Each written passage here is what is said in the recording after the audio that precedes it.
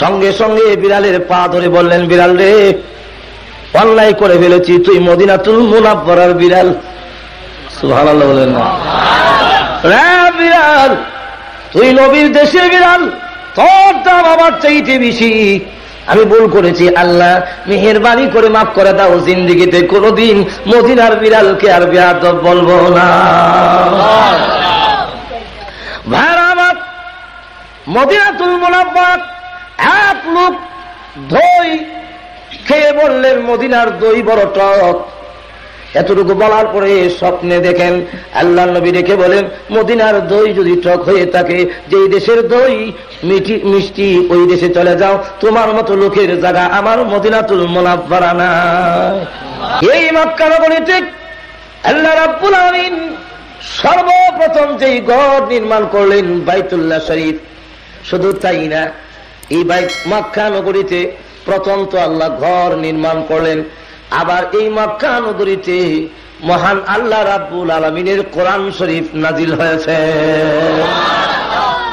শুধু তাই না, আবার এই মক্কা নগরীতে বিশ্ব নবী, সর্বশ্রেষ্ঠ নবী আফির নবী সৈয়দুল মুরসালিন রাহমাতুল্লিল আমিনকে আল্লাহ রাব্বুল আলামিন তাম দুনিয়ার হেদায়তের উদ্দেশ্যে মক্কা নগরীতে প্রেরণ করেছেন। সুতরাং দেখেন কতগুলো জিনিস মক্কানগরীতে একত্রিত হলো? এক তো এখানে আল্লাহর শ্রেষ্ঠ ঘর, সবচেয়ে ফজিলতের ঘর মক্কানগরীতে আবার এখানে কোরআন নাজিল হওয়া এই জমিনের দাম আরও বাড়ছে না কমছে? আরও যখন বাড়ছে না কমছে? এই মক্কানগরীতে আবার বিশ্বনবী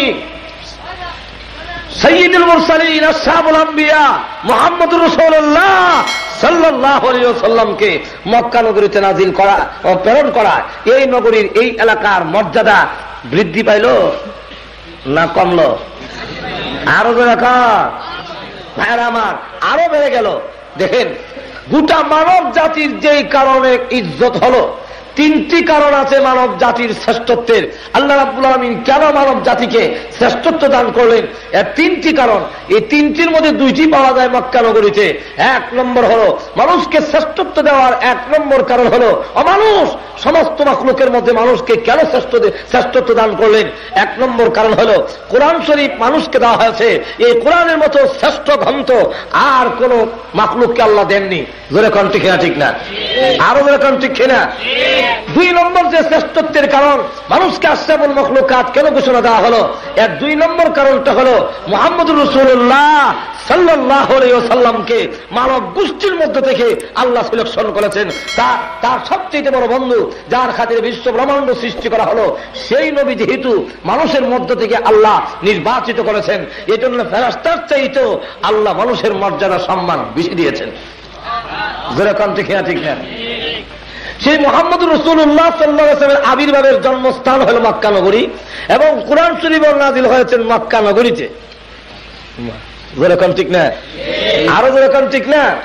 তিন নম্বর হলো, যেই গড়ের দিকে আমরা রোধ করে সারা বিশ্বের মানব গোষ্ঠী নামাজ আদায় করে, সেই গড়টা তো ঢাকার ঢাকাতে নাকি? লন্ডন? আমেরিকা? যেরকম কোন জায়গায়? আরও যেরকম কোন জায়গা?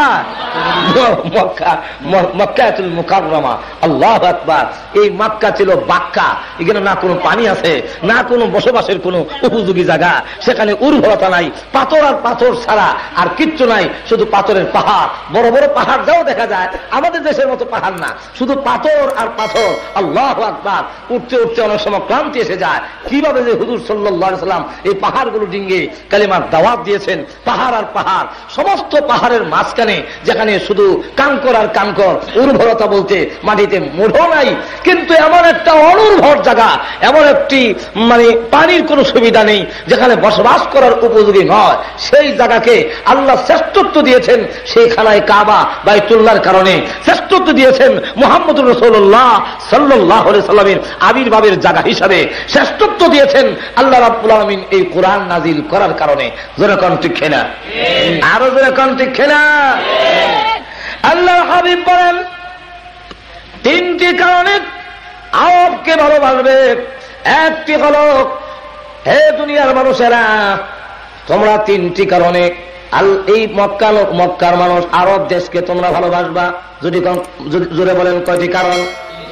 আরও জোরে কারণ এক নম্বর হরত আমি মোহাম্মদ রসুল্লাহ সাল্লাম আরবি ঠিক কিনা? আল্লাহর আল্লাহর কালামের ভাষা, কোরআনের ভাষা, আরবি কোন ভাষা? আল্লাহ রাব্বুল আমিন নিজে বলেন, তার পবিত্র কোরআন সে উল্লেখ করে দিয়েছেন, বিলিসানিন আরবি আল্লাহর ভাষা শুধু আরবি নয় আল্লাহ রাব্বুল আলমিনের তো সব ভাষাই আল্লাহর জোরে কোন ঠিক না কিন্তু কোরআন শরীফের ভাষা হলো আরবি। আল্লাহ আয়াত আয়াতে উল্লেখ করেছেন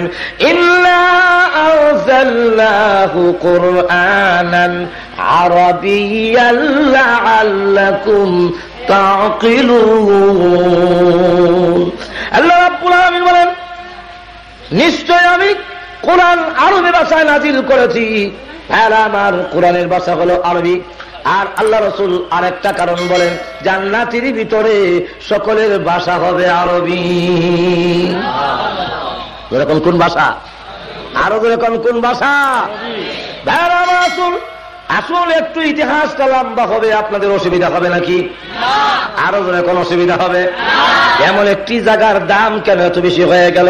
যে এই জায়গার মধ্যে বসবাস করার কোনো উপযোগিতা নাই, যে দেশের মধ্যে পানি পাওয়া যায় না, যে দেশে কোনো ফসল হয় না, এমন একটি জায়গার দাম বেড়ে গেল আল্লাহর কোরআন শরীফের কারণে বায়তুল্লাহ শরীফের কারণে এবং মোহাম্মদুর রসুল্লাহ সাল্লাহ সাল্লামের কারণে। এই তিন জিনিসের সাথে আমাদেরও যদি সম্পর্ক হয়, তাহলে বলুন আমাদের দামও বাড়বে না কমবে? আর একটু মদিনাতুল মুনাফার দিকে লক্ষ্য করে দেখুন এই শহরের নাম আগে ছিল ইয়াসরেফ ভাইয়ার আমার কিন্তু এখন ইয়াসরেফ যদি কেউ বলে তাহলে তার জন্য তৌবা হলো তৌবা করতে হয়। দশ বার বলতে হবে মদিনাতুল মোনাবরা মদিনাতুল রসুল মদিনাতুল রসুল মদিনাতুল রসুল। তাহলে তার কাপড়া হবে। মদিনার বিড়ালেরও দাম বেড়ে গেছে মদিনার দইয়েরও দাম বেড়ে গেছে। ঠিক না? এক আমাদের দেশের এক বুজুর্গ মদিনার বিড়ালকে বলছিলেন, বড় বিয়াদ সঙ্গে সঙ্গে বিড়ালের পা ধরে বললেন, বিড়াল রে, অন্যায় করে ফেলেছি তুই মদিনা তুল মুনাফার বিড়াল। সুভালো বললেন না। বিড়াল, তুই নবীর দেশে বিড়াল, তোর দাম আমার চাইতে বেশি। আমি ভুল করেছি, আল্লাহ। মেহরবানি করে মাফ করে দাও, জিন্দিগিতে কোনদিন মদিনার বিড়ালকে আর বেহাত বলব না। ভাইরাবাদ মদিনাতুল মোলাব্বাদ এক লোক দই খেয়ে বললেন, মদিনার দই বড় টক। এতটুকু বলার পরে স্বপ্নে দেখেন আল্লাহ নবী রেখে বলেন, মদিনার দই যদি টক হয়ে থাকে, যেই দেশের দই, মিঠি, মিষ্টি ওই দেশে চলে যাও, তোমার মতো লোকের জায়গা আমার মদিনা মদিনাতুল মোনাব্বারা না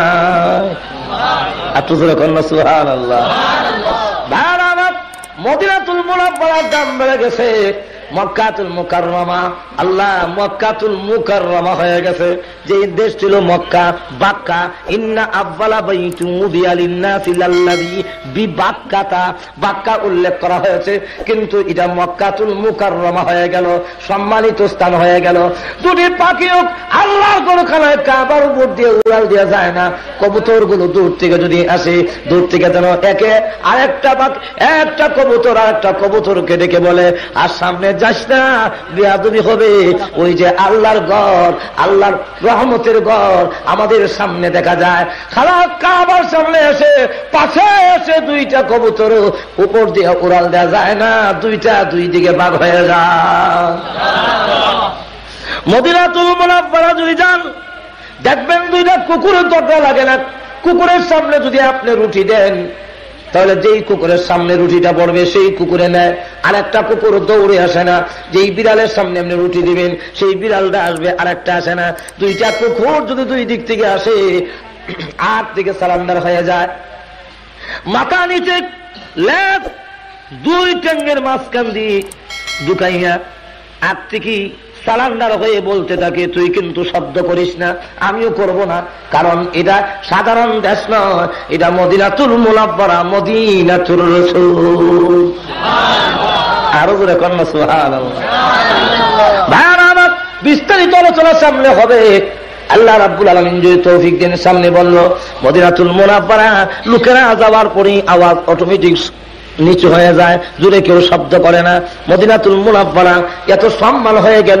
আল্লাহ আকবর, মক্কাতুল মুকাররমা এত সম্মান হলো। আল্লাহ সর্বপ্রথম খানায় কাবাকে নির্মাণ করেছেন। কেন নির্মাণ করলেন এবং রসুলকে মক্কা, মদিনায় কেন, মক্কায় কেন প্রেরণ করলেন? এটার বিস্তারিত আলোচনা যদি সুযোগ পাই সামনে করব। আগে আসুন মক্কাতুল মুকাররমার মধ্যে আল্লাহর ঘর খানায় কাবা কেন নির্মাণ করলেন? এই মক্কাতুল মুকাররমার মধ্যে কেন দিলেন আল্লাহর ঘর? আদম আলীকে ইসলামকে সৃষ্টি করার সময় ফেরস্তাদেরকে আল্লাহ রাব্বুল আলমিন জিজ্ঞাসা করেছিলেন, ইন্নি পৃথিবীতে আমি প্রতিনিধি বানাবো। ফেরাস্তার বললেন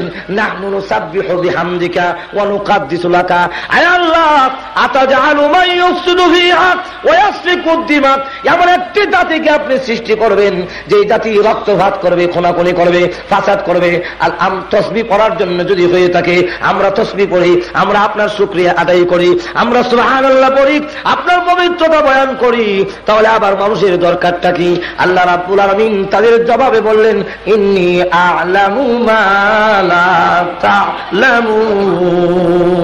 আমি যা জানি, তোমরা তা জানো না।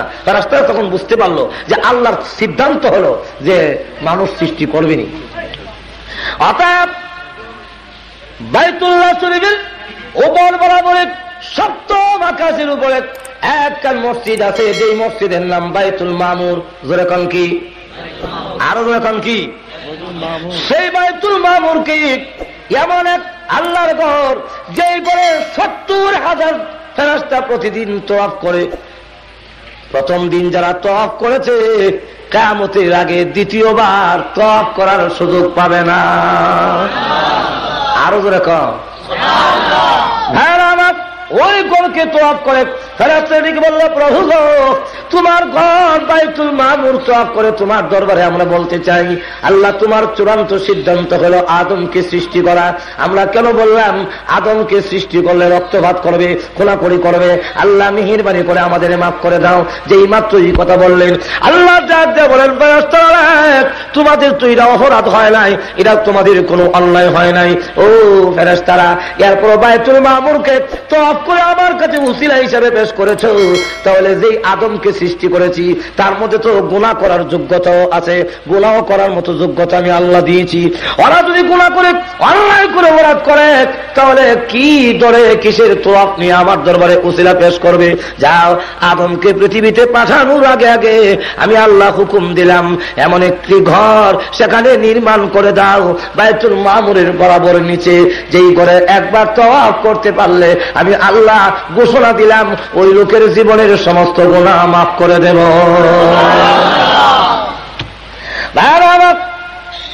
এই বায়তুল্লাহ শরীফ তখন নির্মাণ করা হোক। এই বায়তুল্লাহ শরীফ নির্মাণ করার পরে আদম আলী ইসালাতাম দেখেন বর্তমান নাম হল শ্রীলঙ্কা আগে এটার নাম ছিল সরণদ্বীপ যেরকম কি নাম?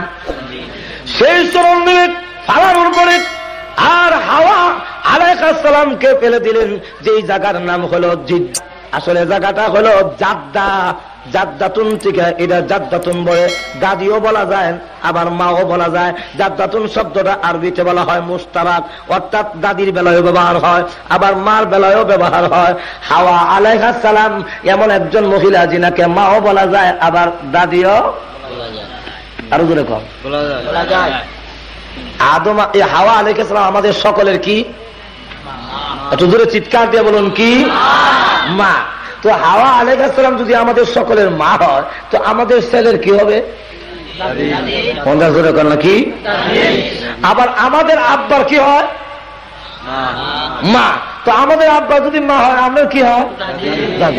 তাহলে একদিকে দুনো দিক থেকে আপনি মানে হিসাব করেন আমার আব্বার থেকে হিসাব করেন, আমার বেলা দাদি হয়। আবার আমার সন্তানের বেলা হিসাব করেন, তাহলে দেখা যায় আমার সন্তান, আমার মা হয়। যেরকম দেখিয়া ঠিক না তাহলে এই অবস্থায় হাওয়া আলিক ইসলাম এমন একজন মহিলা, যিনি দাদিও হন, আবার একদিকে মা হন। আমরা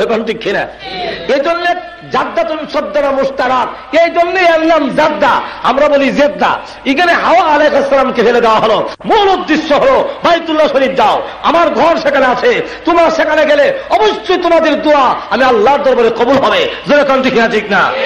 আরও যেরকম ঠিক না আদম আলী ইসলাম সুদূর শ্রীলঙ্কা থেকে ওই বাইতুল্লাহ শরীফের দিকে রওনা দিলেন আর পথে পথে কান্দেন রব্বানা যালামনা أنفسنا وإن لم تغفر لنا وترحمنا لنكونن من الخاسرين বুঝতেছে আর হাওয়া আলাইহা সালাম তিনি যাচ্ছেন তিনিও যাচ্ছেন সেখানে এই যেতে যেতে আরাবাতের মাঠ আছে। জোরে বলা আসেনি না ভাই সেখানে একটি পাহাড় আছে জবরের রহমত। জোরে কর না আসেনি? আদম আলী ইসলাম এবং হাওয়া আলাইসালাম দুজন যেই মাঠে গিয়া দেখা হয়ে গেল, এই মাঠটার নাম আজও দুনিয়ার মানুষ। ওই মক্কা নগরীতে গেলে একত্রিত হয়। তার নাম হলো আরাফাতের মাঠ। যেরকম কিসের মাঠ? আরাফাত অর্থ হলো সাক্ষাৎ। যেরকম কি? আরও যেরকম কি? এই দুজনের গেট এই মাঠে সাক্ষাৎ হয়ে গেল এবং দুজনের দোয়া যখন কানতে লাগলেন, আরাফাতের মাঠে গিয়ে আদম আলী সালাম বলেন, প্রভু মোহাম্মদুর রসুল্লাহ সাল্লাহ সাল্লামের উসিলায় আমাদের দোয়া তুমি মেহিরবানি করে কবুল করে না সরহে সুদূর দুহুর নামক কিতাবে লেখেন, যখন নাকি বললেন মোহাম্মদ রসুল্লাহ রসুল্লাহ দোয়া কবুল করে না আল্লাহ দৌড়ে, এই নাম তুমি কোথেকে পেলে? কে তোমাকে শিক্ষা দিল? আদম আলী ইসলাম ডাক দেওয়ার প্রভু, আমার ভিতরে রুখ দেওয়ার পরে প্রাণ যখন আসলো, এমনি জাগ্রত হয়ে দেখি, তোমার আলসের পায়ের মধ্যে লেখা আছে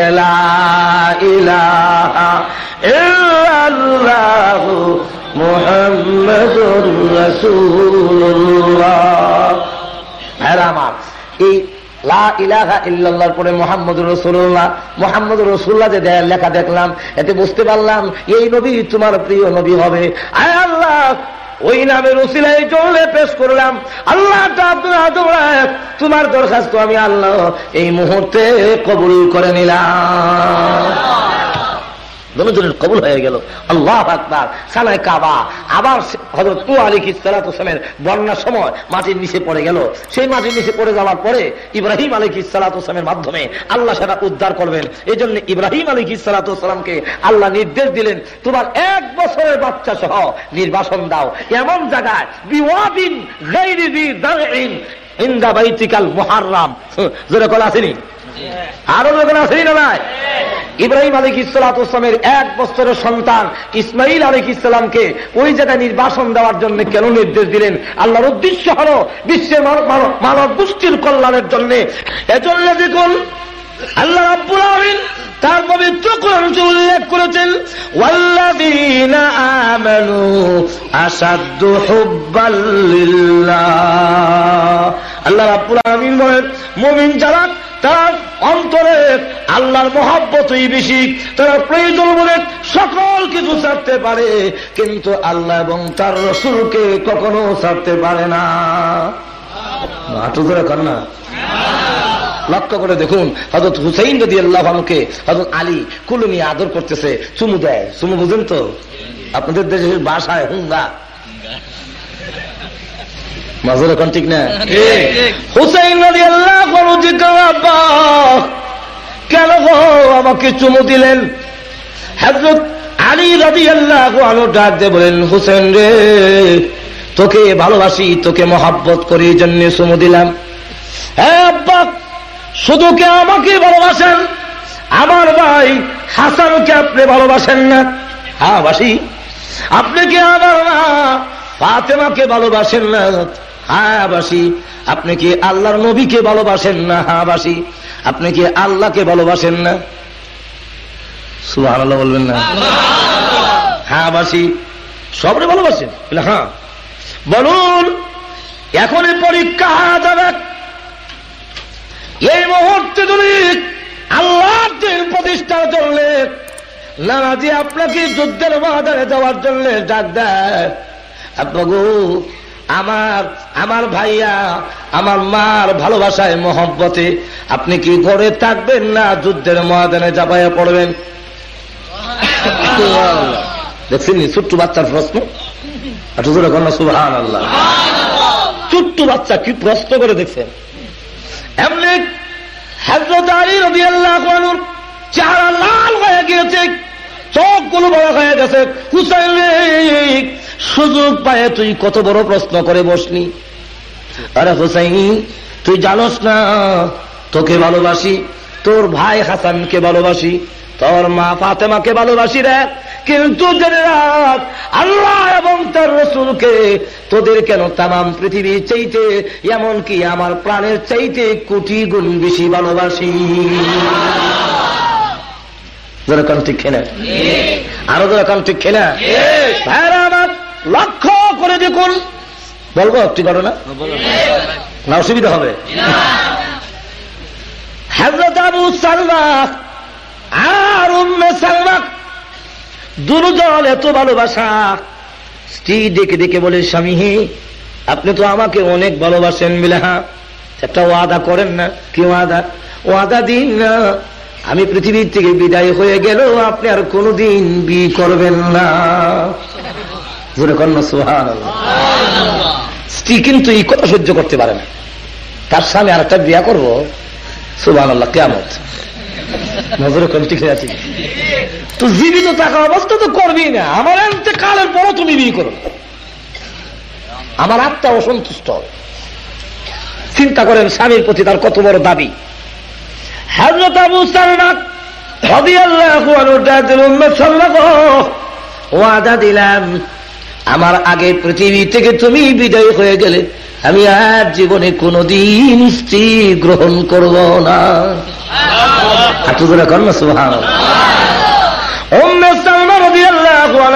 বলে স্বামী আমি ওয়াদা দিলাম। আমার আগে যদি তুমি মারা যাও আমি আর জীবনে কোন পুরুষ গ্রহণ করব না। যাতে করে কামতের কঠিন ময়দানে স্বামী আর স্ত্রী দুজন একসাথে আল্লাহ তুই জান্নাতে প্রবেশ করতে পারি। চিন্তা করেন কত বড় ভালোবাসা। আমাদের দেশের স্ত্রী মহিলা বউ স্বামী যদি বের হয়ে যায় মনে মনে দোয়া করে আল্লাহ ঠান্ডা করে মরত। কারণ আমাদের আখলাখ ভালো না তো যেরকম ঠিক না ঠিক না? আরও যেরকম ঠিক না? এখন চিন্তা করেন, কি পরিমাণ তার দাবি? আবু সালমান তোমার এই প্রস্তাব আমি গ্রহণ করি যায় বরং আমি স্বামী হইয়া আল্লাহ দরবারে দোয়া করি, প্রভু আমি যদি আগে মারা যাই, আমার আদরের স্ত্রী উম্মে সালমা যেন কষ্ট না পায়, আমার চাইতে উত্তম কোন পুরুষকে আমার স্ত্রীর জন্য স্বামী বানাইয়া দিও। স্বামীর দোয়া? আল্লাহর দরবারে কবুল হবে তো নাকি? কবুল হবে তো?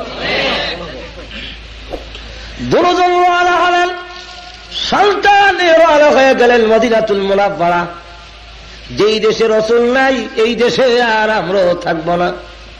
প্রতিমধ্যে আবু সালমার লোক, গোষ্ঠীর লোকেরা গিয়া বলে, আবু সালমারে তুমি মদিনায় যাও, কোনো আপত্তি নাই। কিন্তু এই শিশু বাচ্চা নিয়ে মদিনা চলে যাবে তা দিতে পারি না। এই শিশু বাচ্চা তো অদূর ভবিষ্যতে আমাদের গোষ্ঠীর সদস্য হবে। সুতরাং তুমি চলে যাও, তোমার বাচ্চা আটকাইয়ে দিলাম। এদের উদ্দেশ্য হল, আবু সালমার শিশু বাচ্চার প্রতি বড় ভালোবাসা, মহাব্বত। এই সন্তানের ভালোবাসায় সে মদিনায় যাবে না। এই হলো তাদের উদ্দেশ্য। সন্তান নিয়ে গেল। তার চতুর্গোষ্ঠীর লোকেরা গিয়ে দেখে বলে আবু সালমা তুমি মদিনায় যাও, কোনো আপত্তি নাই। কিন্তু শুনে রাখো, আমাদের গোষ্ঠীর একটি কন্যা নিয়ে মেয়ে নিয়ে তুমি মদিনাতুল মোনাফ যাবে, তা আমরা দিতে পারি না। তাদেরও ধারণা হলো, আবু সালমা তার স্ত্রীর জন্য যেই মহাব্বত, যেই ভালোবাসা, স্ত্রী ছেড়ে দিয়ে তিনি মদিনায় যাবে না। স্ত্রী যখন নিয়ে যায়, সন্তান যখন নিয়ে যায়, তখন তিনি ডাক দেয় বলে হ্যাঁ আমার গোষ্ঠীর লোকেরা তুমি আমার করেছ, আমার সন্তান নিয়ে গেলেন আমি আর মদিনাতুল মুলাব্বরা যাব না। হে আমার শ্বশুর গোষ্ঠীর লোকেরা, তোমরা মনে করেছ আমার স্ত্রী গেলে আমি আর মদিনাতুল মোনাব্বারা যাব না। আল্লাহর কসম, জেনে রাখো, আমি সন্তান ভালোবাসি, স্ত্রী ভালোবাসি, কিন্তু তার চাইতে কোটি গুণ আল্লাহর হাবিব, আল্লাহ এবং তার নবীকে আমরা ভালোবাসি। যদি মদিনাতুল মোনাব্বারা গীত ইমান লেখ মদিনাতুল মোনাব্বরা যে আল্লাহ হাবিব রাহমাতুল্লিল আলমিনকে একটা নজর দেখতে পারি। তাহলে জেনে রাখো, মনে যত ব্যথা আছে, সমস্ত ব্যথা মুহূর্তের মধ্যে দূর হয়ে যাবে। আবু সালমান রবি আল্লাহ মদিনাতুল মুনাব্বালাগি রাহমাতুল্লিল আলমিনের চেহারা মোবারকের দিকে তাকাইয়া বলেন, আল্লাহ নবী গো, রাস্তায় এসে আমার সন্তান হারিয়েছি রাস্তায় এসে আমার আদরের স্ত্রী হারিয়েছি তথাপি আমার কোনো দুঃখ নয় আপনার চেহারা মোবারকের দিকে তাকাইয়া সব দুঃখ আমি ভুলে গেছি। রসুল তখন তার এই করুণ কাহিনী শুনে চোখের পানি চলে দিয়ে কারণে আল্লাহ রাব্বুল আলমিন সঙ্গে সঙ্গে ওনার সানে পবিত্র কোরআন শরীফের আয়াত নাজিল করে দিয়েছে মানুষের মধ্যে কিছু মানুষ এমন আছে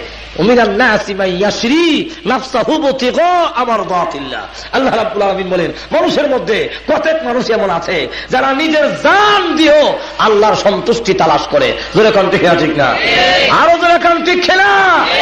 তার বাস্তব নদীর এখনও আসেনি না নাই? আরও যেরকম আসেনি না নাই? জাদ্দাতে যান সেখানে গিয়ে দেখবেন একটি জায়গায় নাম সাইনবোর্ডের মধ্যে লেখা আছে সারে বিন লাদেন। সারে বিন? লাদেন। স্ট্রিট জাদ্দা বিরাট বড় এরিয়া বাউন্ডারি দেওয়া খালি জায়গা। আমি জিজ্ঞাসা করলাম এই খালি জায়গা বাউন্ডারি কেন? কোনো ঘর নাই। লোকেরা বলল এই জায়গা হলো বিল্লাদেনের উসামা বিল্লাদেনের তার জায়গা বাজায়াত করে নেওয়া হয়েছে সুহান আল্লাহ জায়গা নিয়েছে তার ব্যাংকের জমা রাখা টাকা বাজার করা হয়েছে। সে পুত্র রেখে দিয়ে আফগানিস্তানের বড় জঙ্গলে ঘুরে বেড়ায়। আর হাসি মুখে কথা বলে, লোকেরা বলে, সমস্ত সম্পদ হারাইয়া জঙ্গলের ভিতরে থাকেন, তারপরে হেসে হেসে কেমনে কথা বলেন? তখন তিনি ডাকতে বলেন, সমস্ত সম্পত্তি কেন আমার নিজের প্রাণ যদি আল্লাহর রাস্তায় উৎসর্গ করতে হয়, আমি হাসি মুখে তা করতে হাজার বার রাজি আছি।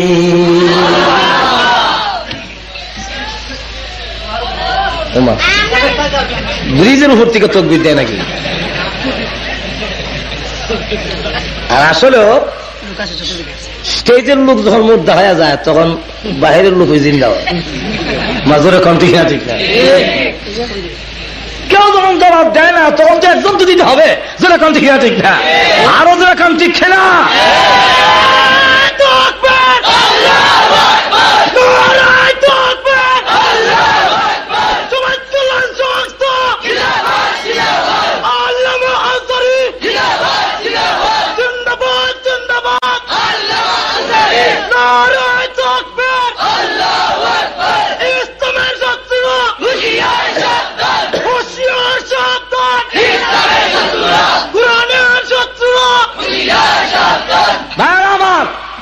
অসমিল্লাদেন ওই সাদ্দামের মাধ্যমে আমরা বিশ্বাস করতে পারি না। কিন্তু একটা বিশ্বাস আছে, এই দেশে সারা বিশ্বের মধ্যে ইসলামের পতাকা উসামিল্লাদেন মুল্লাহমের মাধ্যমে, আফগানিস্তানের মাধ্যমেই আমেরিকার বদল হবে এবং ইসলামের পতাকা উড্ডিল হবেই হবে ইনশাআল্লাহ।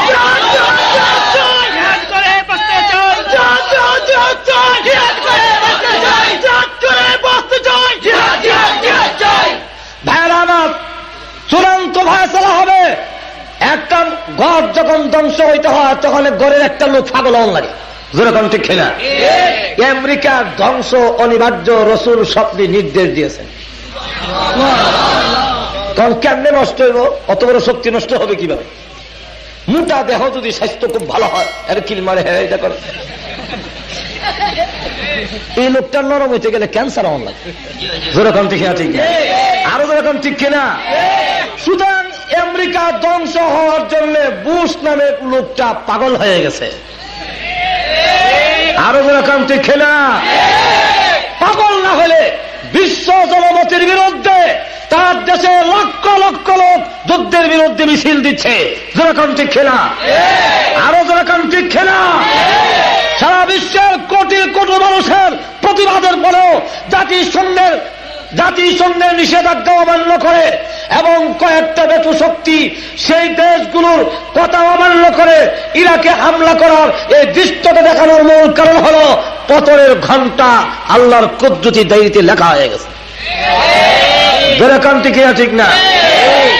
হামলা হয়েছে কোন মাসে? কোন মাসে? আরও যেরকম মহরমের মাসের দশ তারিখে যদিও হুসাইন শহীদ হয়েছেন। কিন্তু এই শাহাদতের বিনিময় কামত পর্যন্ত ইয়াজিদ এবং ইয়াজিদের বাহিনীর মরণ হয়েছিল।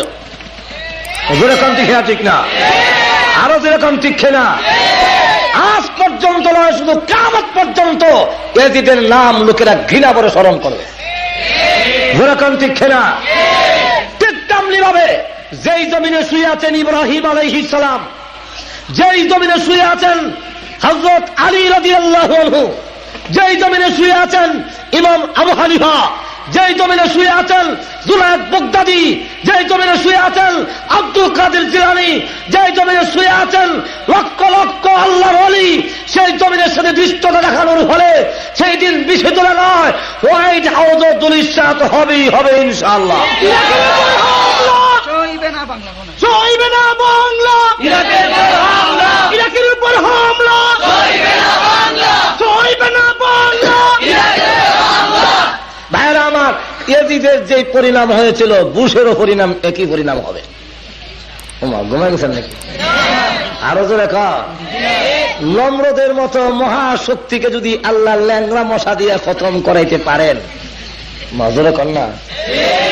ফেরাউনের মতো ক্ষমতাধরকে ফানিতে সুবাইয়া যদি মারতে পারেন? আব্রাহার মতো বিশাল অস্থি বাহিনী নিয়ে আসছিল বায়তুল্লাহ শরীফ ধ্বংস করার জন্য। যেরকম ঠিক না তাকে যদি আবাবিল পাকিরের কাঙ্কর দিয়ে চাবানো গাছের মতো নিষ্পেষিত করে করতে পারেন।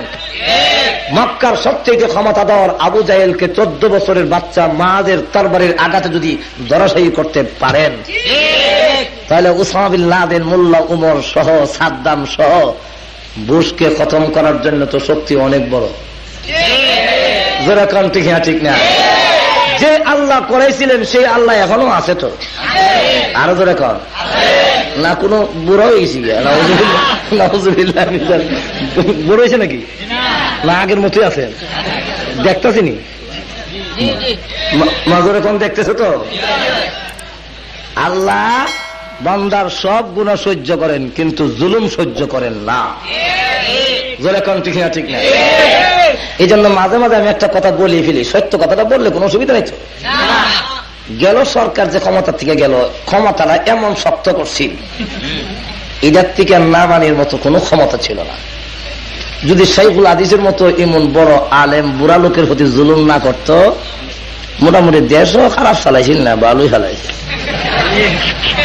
চাউল ডাইল অহম থেকে বালা আছে মাজুর এখন ঠিক না ঠিক বাস বাড়া অহনের মতো বাড়ছিল না, একটু কমে আছে কিন্তু এরপর দেশের জনগণে লাত্তি দিয়ে ক্ষমতার থেকে নামাই দিচ্ছে যেরকম ঠিক না ঠিক না? কারণ আল্লাহ, জুলুম সহ্য করেন না যেরকম ঠিক খেলা। ইরাকের কি এখন কোন দোষ আছে? সাদ্দামের কোন দোষ আছে? আগে দোষ করলে অহন কি বর্তমানে কোন দোষ আছে? তাদের উপরে যে হামলা, এটা জুলুম কিনা যেরকম আরও যেরকম এই জুলুমের বিনিময় বুশকে তার দেশের লোকের লাঠি দিয়ে ক্ষমতার দিকে সামনে নির্বাচনী নামাবে ইনশাল্লাহ যেরকম ঠিক না ঠিক না? আমার, আসুন, আমার সামনে অনেক মজার আলোচনা আছে। মজুর এখন ঠিক না ঠিক না? আরও যেরকম ঠিক না? মক্কার মদিনা ফজর পর্যন্ত কইলেও শেষ হবে না। আমরা তো এমনি না বলি হৃদয়তে কাবা। মজুর এখন ঠিক নেই। গান গায় কিন্তু বাস্তবে মজুর এখন ঠিক না ঠিক নাই। আমরা অনেক সময় গান গায় কিন্তু সাধারণ লোকের ধরে ফেলে। সাধারণ লোকের অনেক সময় ধরে ফেলে। বাদ ফেলে আর কত করবে? আমার এলাকা বলব নাকি একটা? আমার এলাকার এক লোক টান দিছে। সবটা মনও থাকে না। দিবানিসি মনরে আমার আর দিও না, যন্ত্রণা। নজরে কোন আছে দিন ভাই দিবানিসি মন রে আমার আর দিও না যন্ত্রণা। হায়রে দলে যদি হইতাম দলি যাইতাম সোনার মদিনা। আল্লাহ হোম্মা আসিস নাই আরও যখন আসিস না এমনি আমাদের এলাকার এক লোক, সাধারণ লোক দাঁড়ায় গেছে। ও মৌলবী সাহেব বাচ্চারে আর কত করবেন? নবী সাথে করবেন। আপনাকেও চিনি, আপনার জাগা জমিন, সব আমার চিনে আছে। আপনার বিশ কের জায়গা আছে, এক একরের জায়গার দাম তিন লাখ টাকা। এক একের জায়গা বেচলে মক্কা, মদিনা দুইবার আসা যাওয়া যাবে। নজরে কম ঠিক না ঠিক না? আরও এরকম ঠিক না? আসলে তো যাইবেন না, আমরা বাটফারি করি হ্যাঁ দুটা থালা। ঠিক না ঠিক না? আমার, আর দিও না যন্ত্রণা। হাইরে দল। বাপরি বাপ। বন্ধুরা, ওখানে যাবি দলে যদি হইতাম দলি যাইতাম সোনার আহ, কি মজা লাগে। আমার কাছে মজা লাগে কিনা জানি না আমার কাছে খুব মজা লাগে। যেরকম ঠিক না? এই মজা লাগা দিয়ে হলো উদ্দেশ্য। যেরকম ঠিক না? তুমি যদি অত অত ভাগল তাহলে যাও না কেন? আবার কয়, বলব? এটা আর একটা সুর। হৃদয়তে কাবা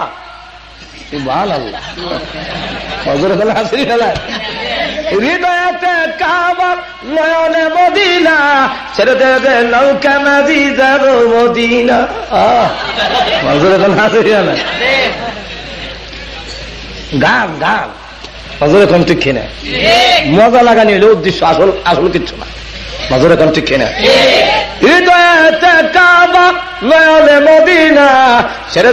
নৌকা মাঝি যাব মদিনা। শেরপুর থেকে নৌকাটা কোন দিন যাব মদিনা?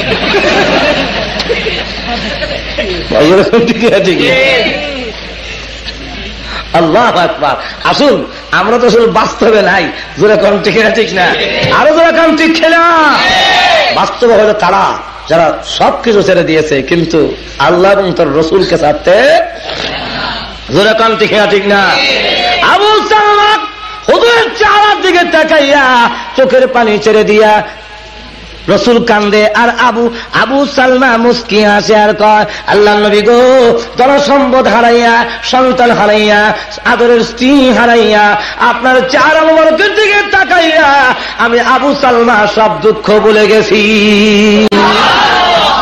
আবু সালমার স্ত্রী বাড়িতে কান্দে, শ্বশুর বাড়িতে জেনে গেছে, এখানে কান্দে। প্রতিদিন মানুষ ঘুমাইলে একা একা ওই জায়গায় এসে যে জায়গায় স্বামী হারাইছে, সন্তান হারাইছে, এই জায়গায় এসে আল্লাহ, আমি রাস্তা চিনি না, এতটুক চিনি, এর চেয়ে বেশি চিনি না। তোমার কাছে এই জমিন সাক্ষী রাখলাম, তোমার দিনের জন্য, তোমার ইসলামের জন্য, তোমার নবীর জন্য আমি আমার সন্তান হারাইছি, আমি আমার প্রাণের স্বামী হারালাম। কামতের কঠিন ময়দানে এই জমিন যেন আমার পক্ষে সাক্ষী দেয়। স্ত্রী কানতে কানতে কঙ্কাল সন্তান মা বাবা হারাইয়া কান্দে। আল্লাহর কি মর্জি? তাদের অন্তরে একটু দয়া দিয়ে দিয়েছে। আবু সালমা শ্বশুর গোষ্ঠী লোকেরা বলে, এই মেয়েটা কানতে কানতে একবার মারাই যাবে। এক চাইতে তার স্বামীর কাছে পৌঁছে যাবে। আবু সালমার গোষ্ঠীর লোকেরা বলে, এই ছেলেটা কানতে কানতে একবার মারাই যাবে। কঙ্কালের মতো হয়ে গেছে। এক চাইতে তার মার কাছে পৌঁছে দাও। উম্মে সালমা সন্তান পেয়ে গেল। এখন স্বামীর আশায়। সুদূর মদিনার দিকে রওনা দিলে সুহান বলবেন না। প্রাণের মদিনা। তুমি ছিলে আমার নবী যাওয়ায় তুমি হয়ে গেলে সোনার মদিনা। যেরকম কের মদিনা? আরও যেরকম কিসের মদিনা? মক্কা থেকে মদিনা যাওয়ার পরেই রওনা দিলেই মানুষের দিল যেমন হাট বন্ধ হয়ে যাওয়ার উপক্রম হারে সোনার মদিনার দিকে রওনা দিয়েছে। যেরকম ঠিক ঠিক না? আরও যেরকম ঠিক না? এখন মদিনার দিকে যায় আর একসাথে দুই আনন্দ। যেরকম কয় আনন্দ? স্বামী ফিরে পাওয়ার আনন্দ, নবীজির কাছে হাজির হওয়ার আনন্দ। আর মনে মনে কত ধারণা আমি আমাকে চিনবে না, আমি পর্দা দিয়ে রেখেছি। আমাকে চিনবে না। আমি পিছন থেকে আবু সালমার চোখ ধরবো কি? বলব, বলো তো দিকে কে? আবু সালমা করব কেটা না। কি যে করবে? মনে মনে যে যারা বিদেশ থেকে আসে, ওদেরই জিজ্ঞাসা করেন। যখন সিলেট বিমান বন্দরে নামে শেরপুর আসার আগ পর্যন্ত খালি মোরা খাবে বসে। কি কি যে? যেরকম ঠিক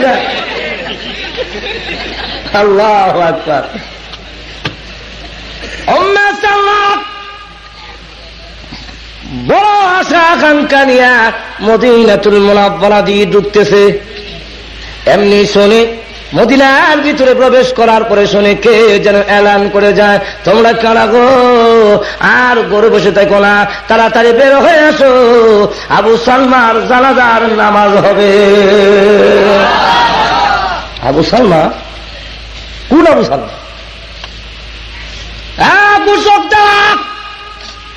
কোন আবু সালমা জানাজার নামাজ হবে, ওই কুশক দেখ বলে আপনি চিনবেন না গো। মক্কা থেকে সম্পদ হারাইয়া, সন্তান, স্ত্রী হারাইয়া মদিনাতুল মোরাব্বরা যিনি এসেছিলেন, ওই আবু সালমা পৃথিবী থেকে চিরদিনের জন্য বিদায় হয়ে গেছে। তাই নাকি? আল্লাহ বিশ্বাস করি না আমার আবু সালমা না অন্য কোন আবু সালমা হবে। আকার যেন মাথায় ভেঙ্গে পড়েছে। কোন আবু সালমা পৃথিবীর থেকে বিদায় হয়ে গেল। এত আর্য আকাঙ্ক্ষা নিয়ে মদিনাতুল মুনাব্বরা হাজির হয়েছিলাম। আহারে প্রাণীর স্বামী যদি বিদায় হয়ে থাকে, কোথায় যাব? কার কাছে যাব? মদিনা যে আমার চিনা জানা নাই, কোথায় আশ্রয় নিব? কে আমার আদর করবে? কে আমাকে আশ্রয় দিবে? এই আর্য আকাঙ্ক্ষা ধুলির সাত হয়ে গেল। এক কদম যায় আবার করে না, আমার আবু সালমা বিদায়ী হতে পারে না আমার আবু সালমা এক কদম, দুই কদম যেতে যেতে আবু সালমার লাশের কাছে গিয়ে হাজির হয়ে দেখে, ঠিকই তার প্রাণের স্বামী আবু সালমা পৃথিবী থেকে চিরদিনের জন্য বিদায়ী হয়ে গেছে। আবু সালমার মুখে দয়া পড়েছে। আবু সালমার আমি বিশ্বাস করি না তুমি বিদায়ী হয়েছ। মনে হয় অভিমান করে পড়ে আছো, আমাকে দেখে আমার আশার সংবাদ শোনে। অরে আবু সালমা, আমি বিশ্বাস করি না, তুমি বিদায় হতে পারো না। যদি অভিমান করে থাকো, একবার তাকাও। তুমি তো জানো, ইচ্ছা করে আটকা পড়ি নাই। আমার গোষ্ঠীর লোকেরা আমাকে জোর করে নিয়ে গিয়েছিল। তোমার সন্তান তোমার মাথার কাছে একটি বারের মতো তুমি তাকায়া দেখো। এই করুন কাল্লা যখন শুরু করে দিয়েছে নবীজি এবং উপস্থিত সাহাবিরা কেউ এই চোখের পানি সামলায় রাখতে পারল না। আল্লাহ ডাকতে বলে অন্য সালমা কহ কাল্লিস আবু সালমা যদিও বিদায় হয়ে থাকে, আমি মোহাম্মদ তো পৃথিবী থেকে বিদায় হয়ে যাই যা, আমি নবী, বাকি জিন্দিগির জন্য তোদের জিম্মাদার হয়ে গেলাম।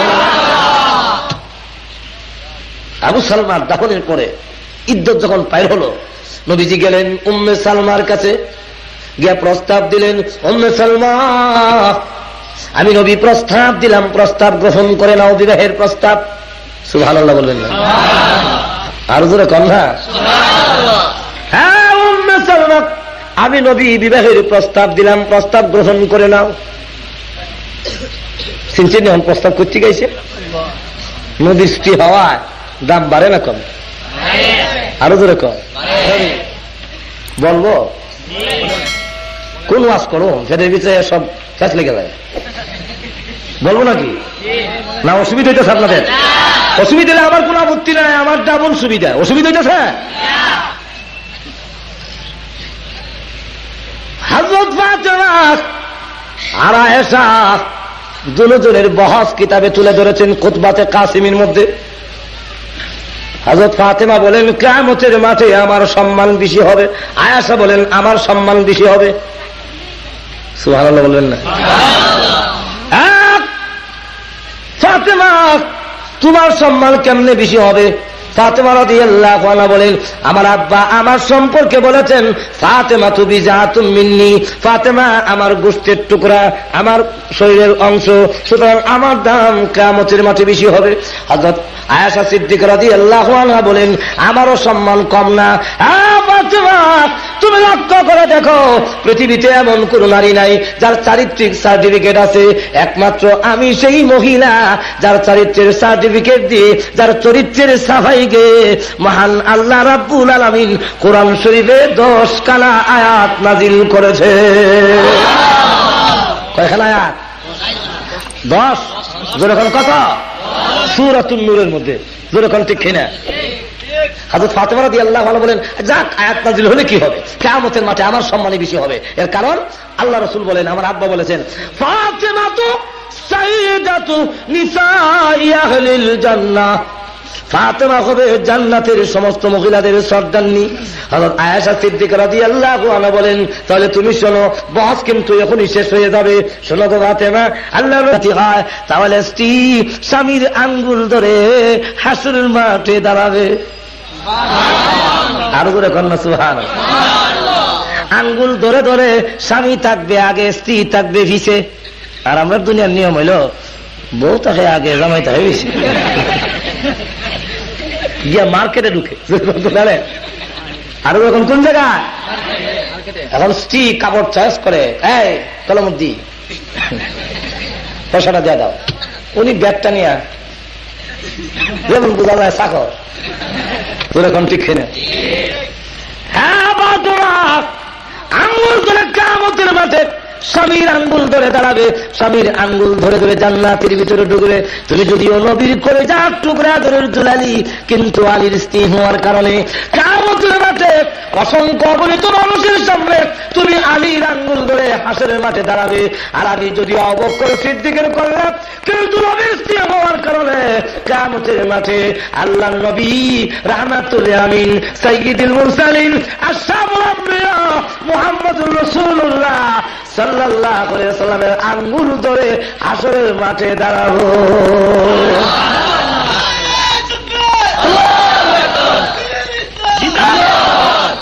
হ্যাঁ হ্যাঁ তুমি আলীর আঙ্গুল ধরে জান্নাতে ঢুকবে আর আমি রসুলের আঙ্গুল ধরে ঢুকবে এখন বলো তো দেখি কামতের মাঠে কার সম্মান বেশি বোঝা যাবে? সুবহানাল্লাহ। বলবেন না। আরে আমাদের দেশের নেতা নেত্রীরা আসলে তো আমাদের দেশীয় যে নেতারা আছে এরা যেইভাবে হোক ধাক্কাটা খেলে গে দরকার মায়ের লেগে যায় স্টেজের মধ্যে যেরকম ঠিক না ঠিক না। মায়ের করে হইল দরকার ইলিয়াস আলী সাহেব আরও বিশ ত্রিশ জন নিয়ে আসবে। ভাগাও। ওরা এসে বলবে ইলিয়াস আলী ইলিয়াস আলী। মাঝে রকম ঠিক না ঠিক না। এইভাবে উঠে যাবে। গিয়া যেভাবে হোক খালাদা দেয়া কাছাকাছি গিয়া। এর কারণ কি? কারণটা হলো ক্যামেরা দিয়ে যখন ক্যামেরাম্যানরা ছবি তুলবে আর আগামীকাল যখন যুগান্তরে তারপরে জনকণ্ঠ মানব জমিনে ইনকলাবে আসবে তখন দেখা যাবে নেত্রীর সাথে ওনার চেহারাটাও দেখা যায়।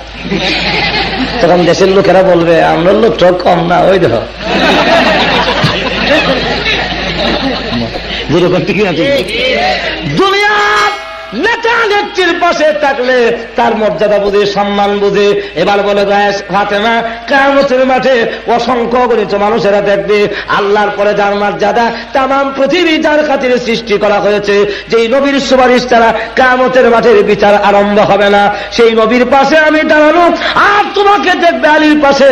এবার বলো দেখি, কার দাম বেশি হবে? পাতামা গড়িয়ে কান্দে আর আরে এই মর্যাদা তো নিতে পারলাম না। তাহলে এবার বলুন নবীর স্ত্রী হওয়ায় মর্যাদা বাড়ে না কবে? এখন রসুল নিজে প্রস্তাব দিলেন আমি তোমাকে প্রস্তাব দিলাম বিবাহের। হজরত উম্মে সালমা বলেন হজুর আপনার প্রস্তাব আমি গ্রহণ করতে পারলাম না। কেন? হজুর আমার স্বামী যে আবু সাল আল্লাহ নবী! নবী গো আমাকে আবু সালমা বেশি আদর করার কারণে গণ গণ অভিমান করা আমার অভ্যাস হয়ে গেছে। ইচ্ছে হোক, অনিচ্ছে হোক, আমি অভিমান করে ফেলি। এখন নবীর স্ত্রী যখন হব, আর নবীর সাথে যদি বিরাজবি করি, তাহলে তো আমার সোয়াব ওইটা আছিল, যা সোয়াব আছিল, সেটাও নষ্ট হবে। যেরকম দেখি ঠিক না? চাইতে সোয়াবের দরকার নাই। যেরকম ঠিক না? আর বাড়তি সোয়াব করানোর দরকার নাই যেটি আছে এটি সামলে রাখি। হুজুর ডাক বলেন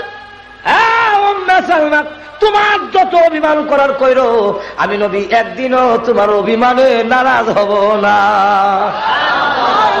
এর কারণ শুধু বিবাহের জন্য আসিলাই এসেছি দায়িত্ব গ্রহণ করার জন্যে দায়িত্ব নেওয়ার জন্যে। তখন হজরত সালমা বলেন, ঠিক আছে, এটা তো মানলেন, কিন্তু এখনও আমি আপনার প্রস্তাব গ্রহণ করতে পারি না। আরেকটা কারণ আছে। আরেকটা কারণ কি? আরেকটা কারণ দ্বিতীয়বার যখন বিয়ে হয়, তো আগের স্বামীর যে আওলাদ আছে, সেই আওলাদ কিন্তু দ্বিতীয় স্বামী গ্রহণ করে না। যেরকম ঠিক না ঠিক না? হ্যাঁ আমার যে স্বামী আছে, আমার যে স্বামী ছিল উম্মে সালমা যেরকম কে? আরে আবু সালমা যেরকম কে? আবু সালমা, তার সন্তান আসেনি আসেনি না এখন তার সন্তান, তার আপনি গ্রহণ করবেন না, আমাকে না গ্রহণ করবেন। এখন তার সন্তানকে আমি রেখে আল্লাহ আকবার, যদি আমি আপনার স্ত্রী হয়ে যাই, আর কেমতের কঠিন ময়দানে আবু সালমা আমাকে জিজ্ঞাসা করে উম্মে সালমা, এ উম্মে সালমা। হে উম্মে সালমা, বলো, আমার সন্তান তুমি রেখে নবীর স্ত্রী হওয়ার জন্য কেন গিয়েছিলে? তখন আমার জবাব কি হবে হাসরের মাঠে? সুভান বলবেন না।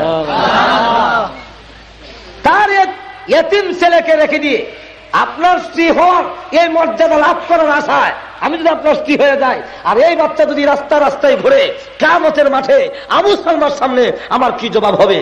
আমি তো ওই দিন বলছিলাম যে আমি আবু সালমা, আমি জিন্দিগিতে কোনোদিন আর স্বামী গ্রহণ করব না। আমার সেই কথা তো ঠিক রইল না। তখন অবস্থা কি হবে? আল্লাহ রসুল বলেন, ও উম্মে সালমা, আমি তো আসলে বিয়ার উদ্দেশ্য না। উদ্দেশ্য হলো তোমাদের দায়িত্ব গ্রহণ করা। কারণ তোমাদের দায়িত্ব কে গ্রহণ করবে? তুমি তো মদিনায় হয়েছ যে আবু সালমা পৃথিবীর থেকে বিদায় হয়ে গেল। আর দিনের জন্য ইসলামের জন্য, আল্লাহ এবং তার রসুলের জন্য সবকিছু কোরবানি দিল। আর তার স্ত্রী আজকে অসহায় হয়ে থাকবে। তার সন্তান আজকে রাস্তা রাস্তায় ঘুরবে। তা হতে পারে না। অতএব এ উম্মে সালমা, তুমি আমাকে এটিম সম্পর্কে বোঝাতে হবে না। কারণ আমার চাইতে বড় এটিম আল্লাহর জমিন আর খেয়াল আরও জোরে সালমা আবু সালমার ছেলে সহ, সন্তান সহ আমি গ্রহণ করতে চাই।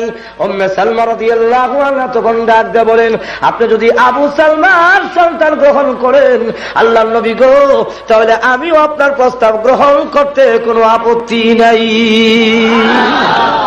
পরে উম্মে সালমা, তিনি উম্মাহাতুল মুমিনের মধ্যে অন্তর্ভুক্ত হয়ে গেলেন। এখন উম্মে সালমা রবি আল্লাহ আনা উম্মত জননী। যেরকম উম্মত এই জন্য আসুন আমি বলতেছিলাম সবগুলো বিসর্জন দিতে পারে যেরকম ঠিক কিনা? আরও যেরকম ঠিক কিনা? হাজরত হুসাইন মনে আছে তো আপনারা? যেরকম মনে আছে নি আপনারা মনে না থাকল আমার মনে থাকবে। হুসাইন যে প্রশ্ন করছিল। আব্বা আমাকে মহাব্বত করেন।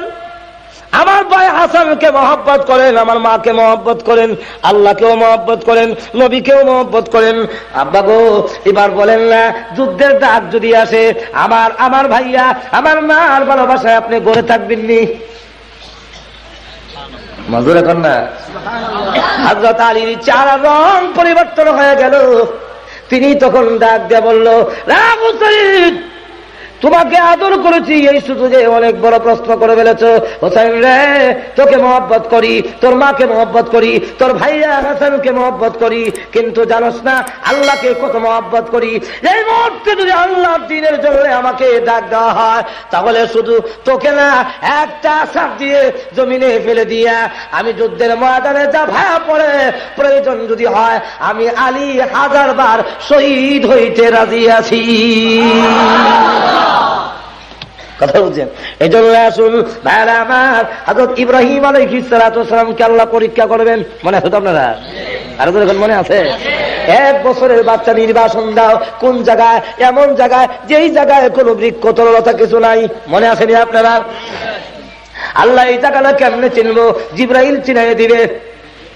জিব্রাহিল হাজরত ইব্রাহিম আলাই ইব্রাহিম আলাইসালাম হাজারা এবং সন্তানি রওনা হয়ে গেলেন।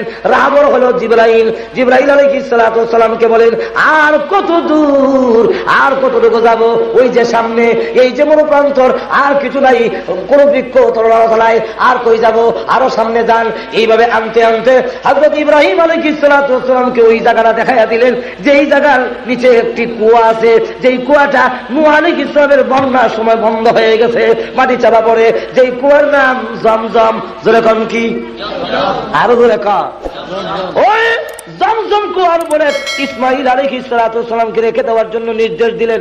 ইব্রাহিম আলী ইসালাতাম তার সন্তান এই জায়গা রাখলেন। রাখার পরে আল্লাহ রাব্বুল আলমিন বলেন, ইব্রাহিম, তুমি এই জায়গায় থাকতে পারো না, তুমি চলে যাও। ইব্রাহিম আলী ইসালাতাম সন্তান, এক বছরের সন্তান স্ত্রী রেখে দিয়া যখন চলে যায়, হাজারা আলাই সালাম তিনি ডেকে ডেকে বলেন স্বামী কোথায় যান? এই বড় প্রান্তরে বৃক্ষ তরলতা কিছু নাই, কোনো গাছ গাছালি নাই, পানি নাই কেমনে থাকবো গো কয়েকটা খেজুর আছে আর মাত্র কিছু পানি আছে এইগুলা শেষ হয়ে গেলে আমাদের উপায় কি হবে কোথায় যান আপনি কেন যান আপনি কাছে থাকেন না উনি কোনো জবাব দেয় না পিছনের দিকে তাকায় না সুরাই ইব্রাহিমের ব্যাখ্যায় তো সিরে মাহারিবুল কোরআনে আল্লাহ মুফতি শরীফ রহমতুল্লাহ লেখেন আলহামদুলিল্লাহ হাদানা لهذا وما كنا لنهتدي لولا أن هدانا الله ربنا ظلمنا أنفسنا وإن لم تغفر لنا وترحمنا لنكونن من الخاسرين. ربنا آتنا في الدنيا حسنة وفي الآخرة حسنة وقنا عذاب النار. وادخلنا الجنة مع المتقين والأبرار. برحمتك يا عزيز يا غفار. يا حي يا قيوم يا حي يا قيوم يا رب العالمين. يا فاطر السماوات والأرض أنت ولينا في الدنيا والآخرة. أنت ولينا في الدنيا والآخرة. أنت ولينا في الدنيا والآخرة. توفنا مسلمين وألحقنا بالصالحين. اللهم اغفر لنا ولوالدينا ولأستاذنا ولجميع المؤمنين والمؤمنات والمسلمين والمسلمات الأحياء منهم والأموات. إنك سميع قريب مجيب للدعوات رب ارحمهما كما ربياني صغيرا. رب ارحمهما كما ربياني صغيرا رب العالمين আজকের এই মাহফিলে আমি সবচেয়ে বড় গুণাগার তাম জীবনের গুনার বোঝা মাথায় নিয়ে আসামির বেশে অপরাধীর বেশে ভিক্ষুক কাঙ্গালের মতো আলিমুলামা নিয়ে সাদা দাড়িওয়ালা মুরব্বী নিয়ে নৌজুয়ান ভাইদেরকে নিয়ে মাসুম বাচ্চা নিয়ে পর্দার আড়ালের নেককার মা বোনদেরকে নিয়ে। আল্লাহ নজুলের রহমতের সময় তোমার শাহী দরবারে হাত বাড়াইলাম। আয় আল্লাহ, আমি গুণাগারের দিকে লক্ষ্য না করে এই মাহফিলে যার হাতখানা পছন্দ। মেহরবানি করে ওনার উসিলায় মাহফিল কবুল করে আমাদের জীবনের সকল গুণা মাফ করে দাও। জানি না আজকের এই মোনাজাত কার জন্য জীবনের শেষ মোনাজাত? আল্লাহ আমার এই বয়সের কত যুবক কবরে খোবায় আছে। আমার জীবনের কত সাথী পৃথিবী থেকে চিরবিদায়ী হয়ে গেছে। আল্লাহ জানি না কোন দিন জানে আমরাও বিদায় হয়ে যায়। হয়তো এমনও হতে পারে, আগামী দিন এই সময় আমি কবরের বাসিন্দা হয়ে যাব। আল্লাহ কি নিয়ে কবরে হাজিরা দিব? কোনো পুঁজি নাই, কোনো সামান নাই। আল্লাহ যেদিন আমাদেরকে কবরে সহায় দেওয়া হবে মেহরবানি করে ওই দিন আমাদের কবরকে জান্নাতের বাগান বানাইয়া দিও।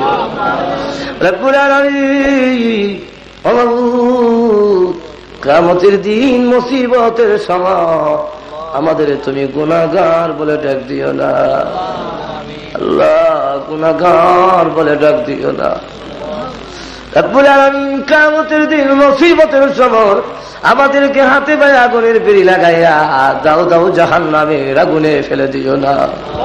আল্লাহ জাহান নামের আগুন সহ্য করতে পারব না। আল্লাহ জাহান নামের আগুন থেকে আমাদের ক্ষমা করে দিও। আল্লাহ, যদিও গুণা করেছি অনলাইন করেছি তবু তো তুমি আমাদের সৃষ্টি করেছ। তোমার রহমতের দরজার থেকে যদি তারা দা বলো না, তোমার এই গুণাগার বন্ধাগুলো কোথায় যাবে, কার কাছে যাবে? আল্লাহ মেহরবানি করে আমাদের জীবনের সকল গুণা মাফ করে দাও। আল্লাহ দুনিয়াতে দেখেছি, কোনদিন দুষ্টামি করলে আব্বা ঘরে ঢুকতে দিত না বাড়িতে স্থান দিত না। গভীর রাত্রে পিছনের দরজায় গিয়ে ডাক দিলে, দেখতাম মা দরজা খুলে দুইটা হাত সামনে বাড়ায় রেখে বলতো, আয় রে বাবা, আমি এখনও তোর জন্য ঘুমাই না। আমি তোর গর্ব মা। সব তোকে বলে গেল, আমি মা তোকে বলে যেতে পারি না। আল্লাহ, মার যদি এত দয়া হয়, এত মায়া হয়, তোমার দয়া মায়ার কিঞ্চিত মাত্র মার অন্তরে দিয়েছ। আল্লাহ, তুমি তো রহমানুর রহিম। তোমার দয়ার কোনো সীমা নাই। আয় আল্লাহ, আমরা গুণাগার, তোমার রহমতের দরজায় হাজিরা দিলাম। আমাদেরকে টান দিয়া তোমার রহমতি, কদরতি, বরকতি করে উঠাইয়া ঘোষণা দাও, যারে বন্দা যা তোদের জীবনের গুণা মাফ করে দিলাম আল্লাহ তোর বা করলাম আর জীবনে গুণা করব না। আল্লাহ তুমি আমাদের মাফ করে দাও। আয় আল্লাহ তুমি মেহরবানি করে আমাদের কবুল মঞ্জুর করে নাও আমাদের মধ্যে যারা অসুস্থ আছেন, সেবা করে দাও। আল্লাহ দুজন মহিলা চিকিৎসাধীন আছে, দোয়া চেয়েছেন, আল্লাহ সেবা করে দাও। আরও যারা দোয়া চেয়েছেন, আল্লাহ, তুমি একমাত্র সেবা রুগীও তোমার, রোগও তোমার। আয় আল্লাহ, তোমার দরবারে ভিক্ষা চাই। যত বেমারে আছে, সকলকে তুমি সেবা করে দাও। আল্লাহ অভাবগ্রস্ত যারা আছেন, অভাব দূর করে দাও। মুসিবতে যারা আছেন, উদ্ধার করে নাও। পেরেশানি যাদের আছে পেরেশানি দূর করে দাও। আয় আল্লাহ অবাবুদি এলাকার নারী পুরুষকে তুমি কবুল মঞ্জুর করে নাও। আল্লাহ, সকলকে তোমার এবং তোমার নবীর আশেক বানায়া দাও। এই আল্লাহ তাজউদ্দিন রহমাতুল্লাহ সমাজ কল্যাণ সংস্থাকে আল্লাহ তুমি কবুল মঞ্জুর করে নাও। আয় আল্লাহ এদের প্রত্যেকটা সদস্যকে দিনের মুজাহিদ বানায়া দাও। রাব্বুল আলামিন সভাপতি সহ যারা আছেন সকলকে তুমি কবুল করে নাও, আল্লাহ সমাজের কল্যাণমূলক কাজ করার তৌফিক দিয়ে দাও। আয় আল্লাহ, আজকের মাহফিলে যেই ভাইরা এসেছেন, আয় আল্লাহ নবীর বিছানা ছেড়ে দিয়ে কাজকর্ম ছেড়ে দিয়ে, এত ভালোবাসা, এত মহাব্বত যাদের তোমার কোরআনের প্রতি, তোমার প্রতি, তোমার নবীর প্রতি, এই ভালোবাসাকে উসিলা বানাইয়া আল্লাহ সকলের জন্য জাহান্নামের আগুন হারাম করে দাও। রব্বুল আলামিন, ও বাবু তুমি মেহরবানি করে আমাদের কবুল করে নাও। আয় আল্লাহ, সারা বিশ্বের মুসলমানকে আল্লাহ তুমি বাঁচাও। আল্লাহ, ইরাকের মুসলমানকে বাঁচাও। আল্লাহ কাছ থেকে তোমার রহমত নাজিল করে দাও। তোমার গাইবি সাহায্য নাজিল করে দাও। ইরাকি জন আল্লাহ সাল্লাহ এবং দেশের জনগণকে আল্লাহ ইমানি বল বাড়াইয়া দাও? তাদের মনোবল বাড়াইয়া দাও। আল্লাহ তাদের এই মার্কিন মার্কিন সৈন্যদের মোকাবেলা করার তৌফিক তাদের দিয়ে দাও।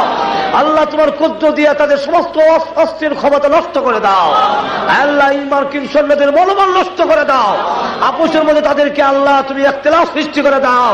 ই আল্লাহ আর আমরা ইমিন আমেরিকাকে আল্লাহ তুমি ধ্বংস করে দাও। ই আল্লাহ আর আমরা ইমিন ই আল্লাহ সারা বিশ্বের মুসলমানকে এক ন্যাক বানায় দাও।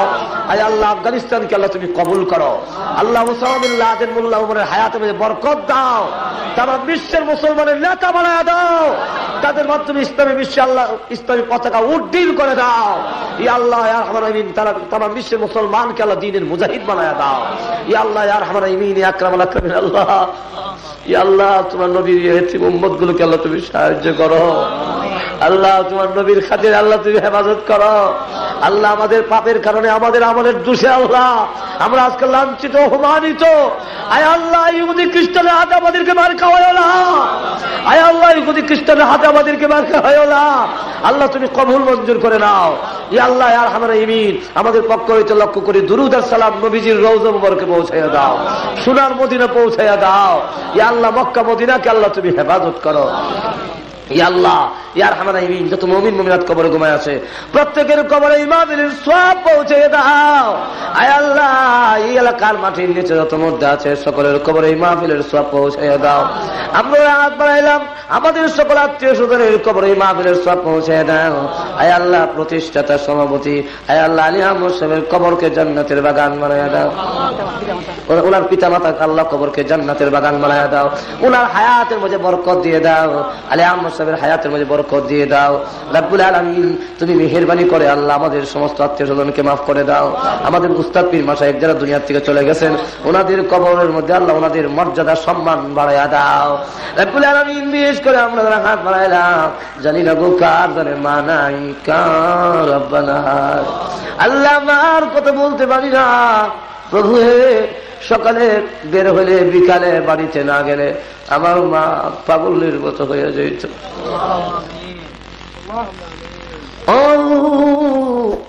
বাড়িতে গেলে দেখতাম মা গেইতে দাঁড়ায় আমার পথের দিকে থেকে বিদায় নিয়ে আসার সময় সন্তান যতক্ষণ দেখা যায়, মা গেট থেকে সরত না। চোখের পানি ছেড়ে দিয়ে কাঁদত। এক মাস বাড়িতে না গেলে ঘন ঘন সংবাদ পাঠাইতো। আমার ছেলেরে কয়েও একটা নজর আমাকে দেখার জন্য। ও ওই মা একদিন না, এক মাস না।